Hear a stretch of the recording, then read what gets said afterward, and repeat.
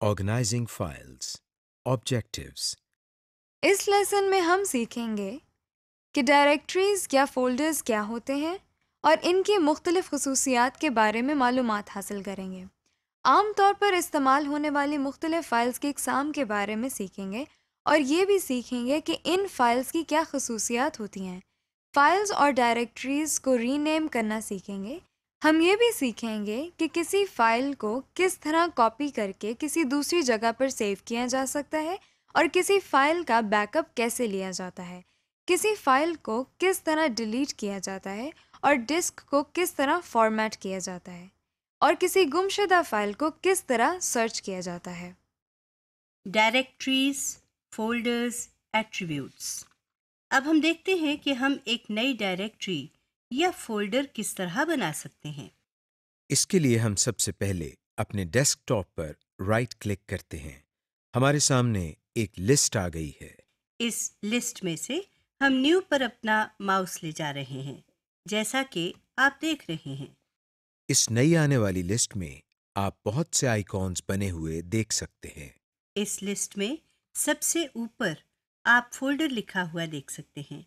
इस पर क्लिक करने से हमारे सामने एक फोल्डर बन गया है। इसी तरह हम इस नए बनाए गए फोल्डर को डबल क्लिक करके ओपन करते हैं।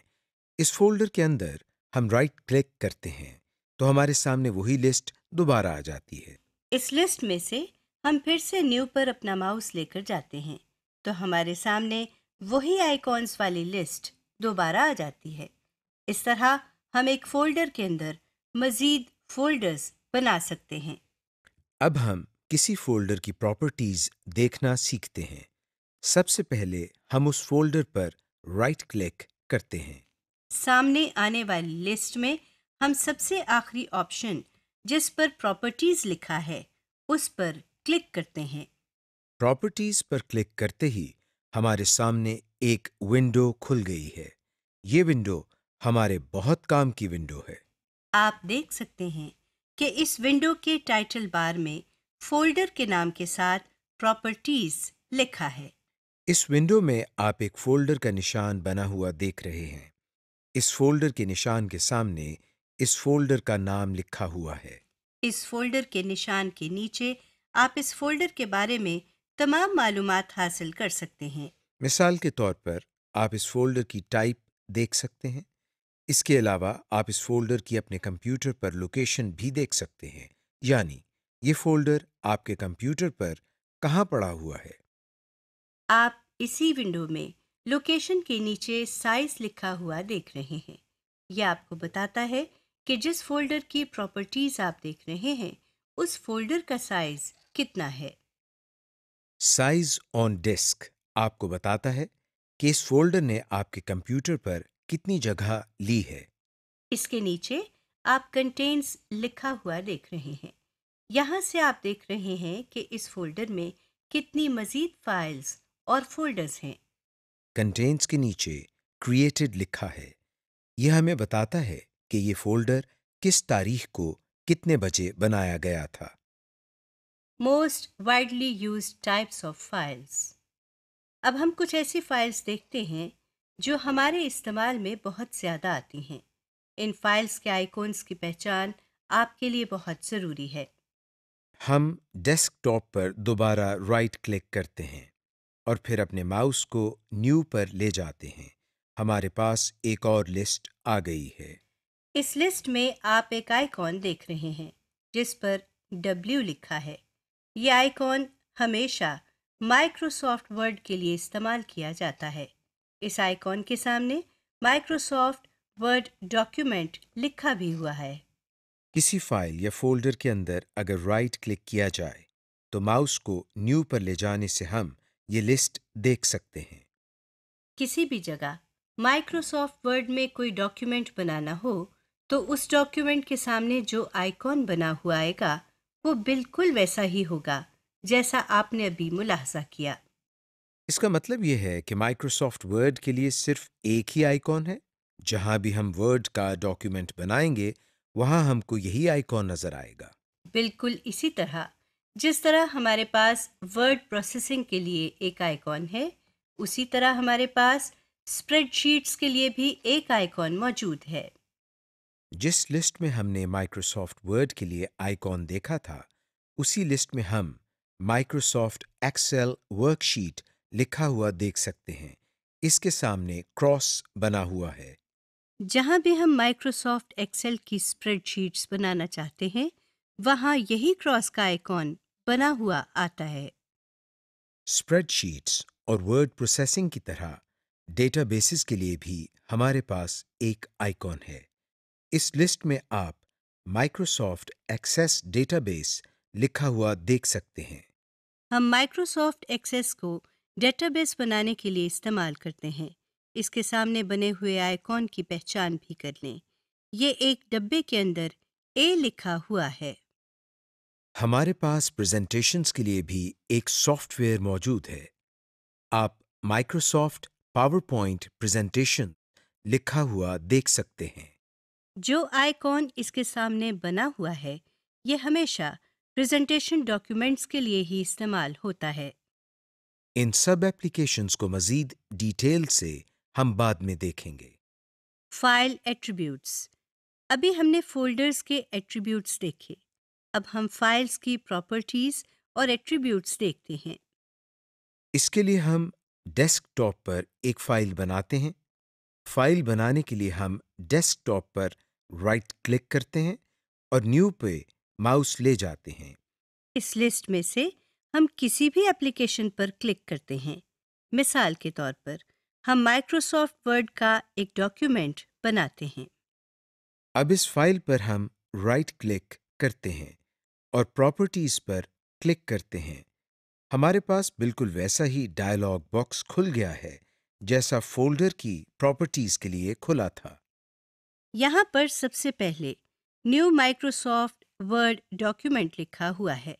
अभी चूँकि आपने इस फ़ाइल का कोई नाम नहीं दिया इसीलिए कंप्यूटर ने खुद ही इस फ़ाइल का नाम न्यू माइक्रोसॉफ्ट वर्ड डॉक्यूमेंट रख दिया है। यहाँ पर आप अपनी मर्ज़ी का नाम लिख सकते हैं और कंप्यूटर इस फ़ाइल का नाम तब्दील कर देता है। आइए इस फ़ाइल का नाम तब्दील करके माय डॉक्यूमेंट रखते हैं। हम सबसे पहले इस टेक्स्ट बॉक्स में माउस से क्लिक करते हैं और उसके बाद बैक स्पेस का बटन दबाते हैं। अब इस टेक्स्ट बॉक्स में लिखा हुआ सब कुछ मिट चुका है। यहाँ हम टाइपिंग शुरू करते हैं और माई डॉक्यूमेंट लिखते हैं। माई डॉक्यूमेंट लिखने के बाद हम एंटर दबाते हैं। आप देख सकते हैं कि फ़ाइल का नाम तब्दील हो चुका है। इस फ़ाइल की मजीद कुछ प्रॉपर्टीज़ देखने के लिए हम दोबारा इस फ़ाइल पर राइट क्लिक करते हैं। और प्रॉपर्टीज़ पर क्लिक करते हैं।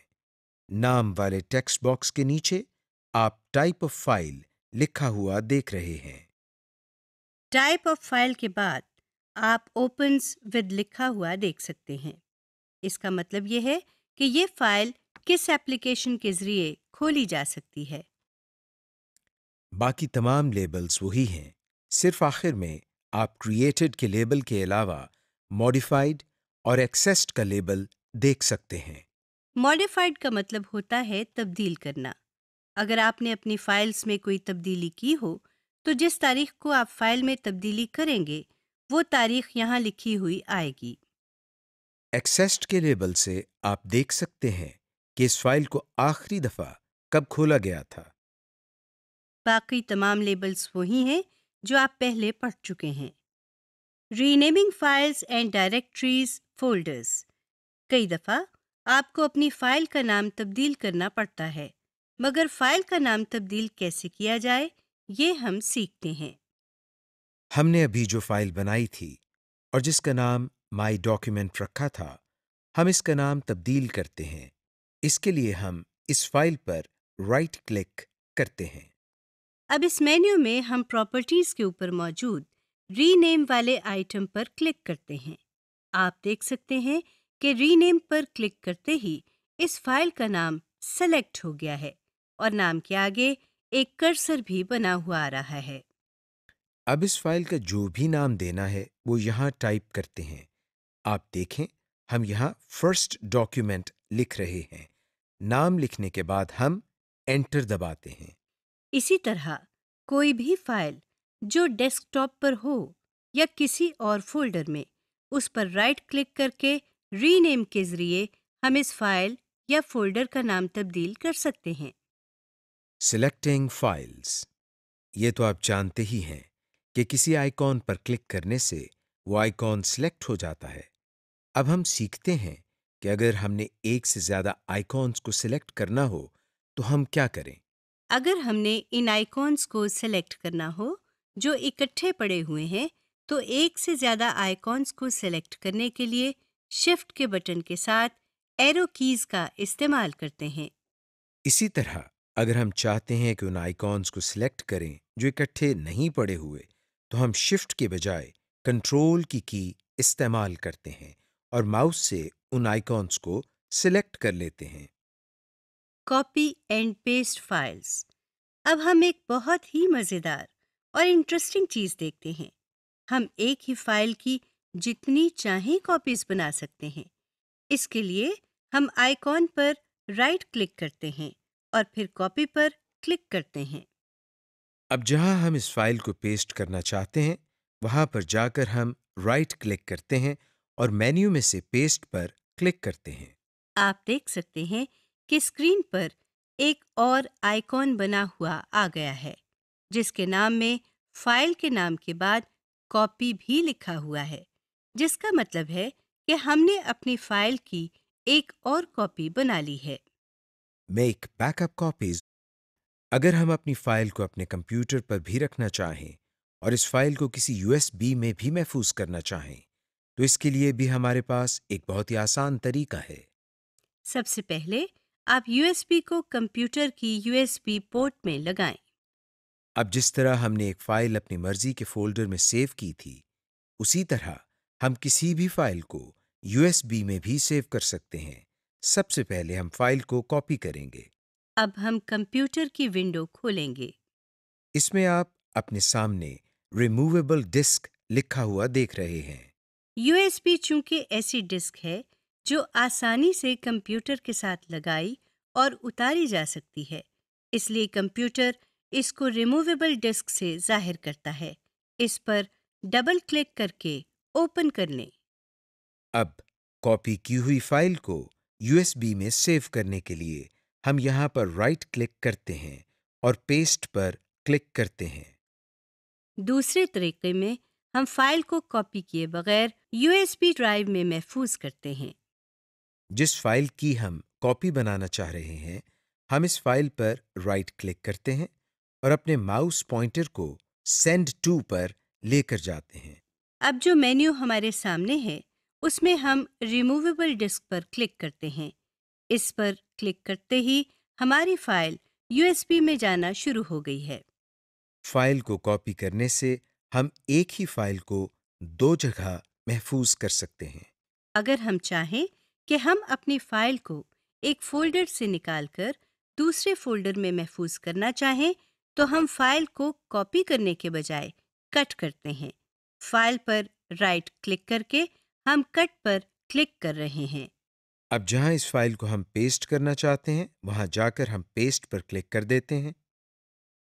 डिलीट फाइल्स फ्रॉम फोल्डर्स कई दफ़ा ये भी होता है कि आपके कंप्यूटर पर कोई ऐसी फ़ाइल पड़ी होती है जो आप मज़ीद इस्तेमाल नहीं करना चाहते और बेवजह आपके कंप्यूटर पर मेमोरी इस्तेमाल हो रही होती है। इसलिए आप उन फाइल्स को अपने कंप्यूटर से निकालना या डिलीट करना चाहते हैं। ऐसा करने के लिए हम क्या करते हैं? आइए देखते हैं। जिस फ़ाइल को हम डिलीट करना चाह रहे हैं इस पर राइट क्लिक करके हम डिलीट पर क्लिक करते हैं।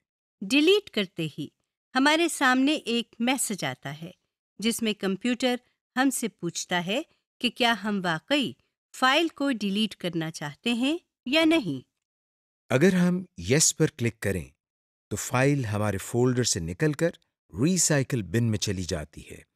और अगर हम नो पर क्लिक करें तो कंप्यूटर इस फ़ाइल को डिलीट नहीं करता। इस वक्त हम यस पर क्लिक कर रहे हैं। फ़ाइल को डिलीट करने के लिए हम उस पर सिंगल क्लिक करने के बाद कीबोर्ड से डिलीट का बटन भी दबा सकते हैं।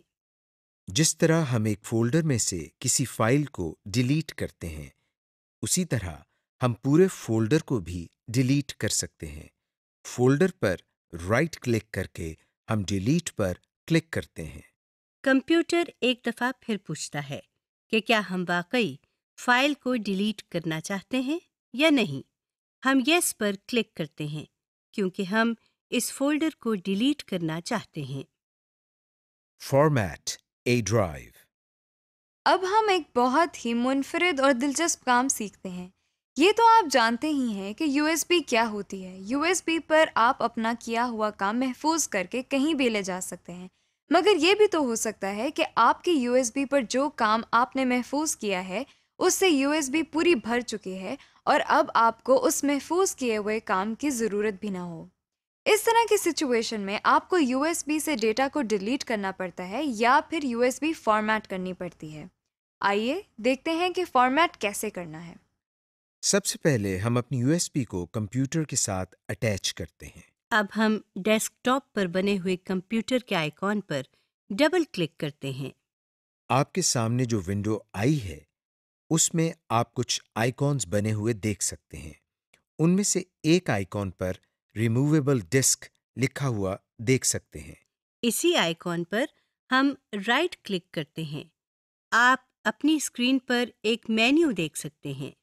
इस मेन्यू में एक फॉर्मेट का आइटम भी मौजूद है। हम इस आइटम पर क्लिक करते हैं। हमारे सामने एक छोटा सा डायलॉग बॉक्स आ गया है। इसमें कैपेसिटी के नीचे एक ड्रॉप डाउन मेन्यू है जहाँ से आप इस यूएसबी का साइज़ सेलेक्ट कर सकते हैं। अमूमन आपको साइज़ सिलेक्ट करने की ज़रूरत नहीं पड़ती। कंप्यूटर खुद ही सही साइज़ सिलेक्ट कर देता है। बाकी दोनों ड्रॉप डाउन मेन्यूज के बारे में हम बाद में आपको बताएँगे। वॉल्यूम लेबल के नीचे रिमूवेबल डिस्क लिखा हुआ है। इसको मिटाकर आप अपनी मर्ज़ी से इसका नाम माई यूएसबी टाइप करते हैं। फॉर्मेट ऑप्शंस के नीचे क्विक फॉर्मेट पहले से ही सिलेक्टेड है। फॉर्मेटिंग शुरू करने के लिए हम सबसे नीचे बने हुए स्टार्ट के बटन पर क्लिक करते हैं। तो कंप्यूटर हमें एक वार्निंग देता है कि अगर आपने यूएसबी फॉर्मेट की तो इसमें मौजूद सारी फाइल्स और फोल्डर्स डिलीट हो जाएँगे। हम ओके का बटन प्रेस करते हैं। आप देख रहे हैं कि यूएसबी फॉर्मेट होना शुरू हो गई है और कुछ देर में ये अमल मुकम्मल हो जाता है और हमारे सामने फॉर्मेट कंप्लीट का मैसेज आ जाता है। अब हम डेस्कटॉप से कंप्यूटर के आइकॉन पर डबल क्लिक करते हैं तो हम देखते हैं कि हमारी यूएसबी का नाम माई यूएसबी हो गया है। अब इस पर डबल क्लिक करके इसको ओपन करते हैं। तो ये देखें इसके अंदर कोई डाटा नहीं है। सब फाइल्स और फोल्डर्स डिलीट हो गए हैं।